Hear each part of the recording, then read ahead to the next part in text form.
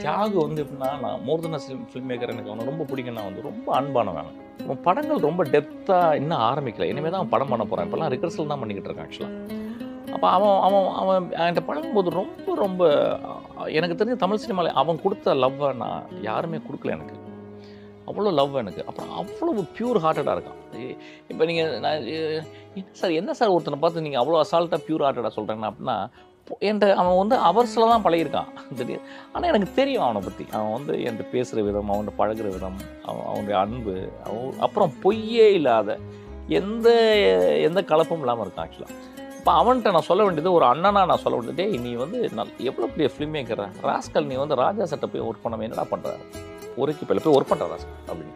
அவன் அப்படியே இல்லை சார் எப்படி சார் நான் போய் அங்கே போனால் என்ன இது ஆகுமா சார் அப்படின்னு. எனக்கு அதெல்லாம் தெரியாது. நீ வந்து ஒரு படம் நீ ராஜா சட்டை ஒர்க் பண்ணுறா அப்படின்னு போயிட்டான்